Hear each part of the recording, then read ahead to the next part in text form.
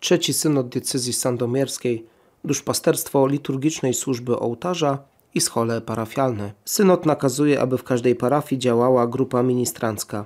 Grupę tę tworzą uczniowie, studenci i dorośli.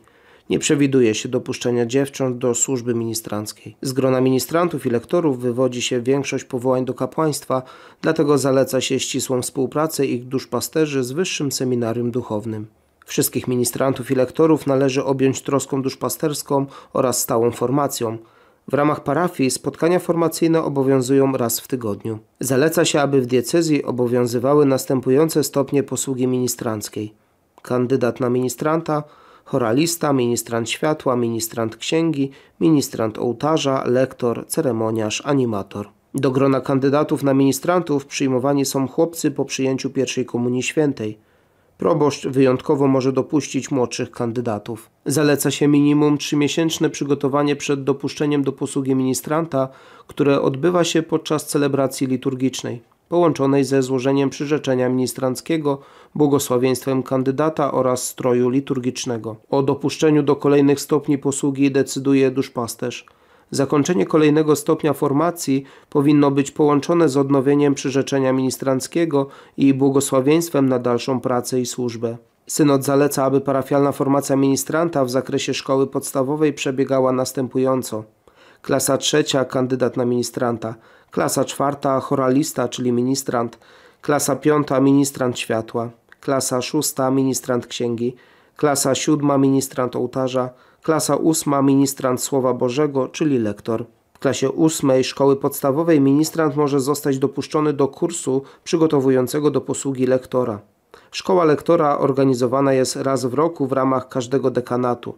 Odpowiedzialnym za jej przebieg jest dekanalny duszpasterz dzieci i młodzieży przy wsparciu kapłanów pracujących na terenie dekanatu. Synod poleca, aby w ramach szkoły lektora odbyło się minimum pięć spotkań formacyjnych. Szkoła zakończona jest uroczystym błogosławieństwem i dopuszczeniem do posługi lektora przez dziekana lub innego kapłana. Lektorzy, uczniowie szkół średnich kontynuują formację w ramach decyzjalnej szkoły ceremoniarza i animatora. Spotkania te organizowane są przez diecezjalnego duszpasterza liturgicznej służby ołtarza, a zakończone błogosławieństwem biskupa.